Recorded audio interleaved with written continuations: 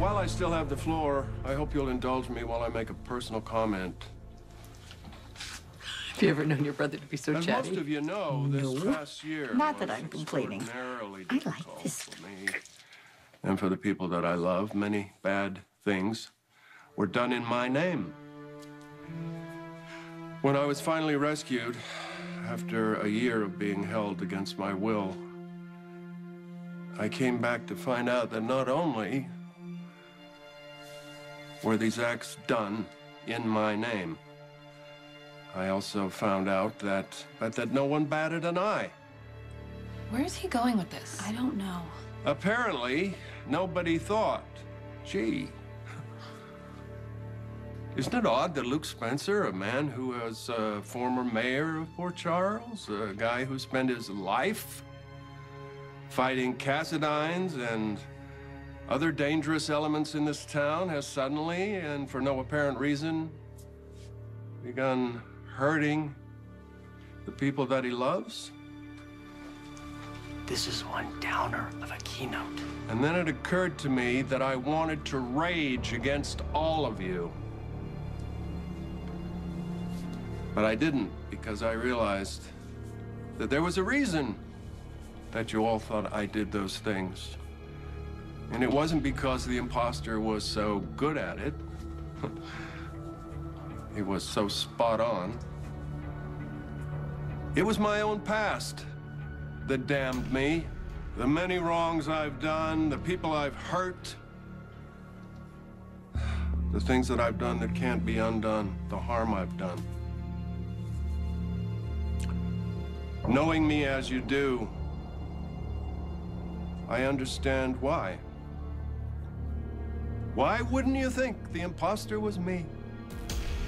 I apologize for interrupting, Dad, but I can't let you compare yourself to the man who tried to steal your life. You're not even remotely alike. And we should have all known that Luke Spencer would never, under any circumstance, have tried to have his nephew killed. Thank you, Lulu. I appreciate that. But what I'm trying to say is, I understand why you believed that I was the imposter.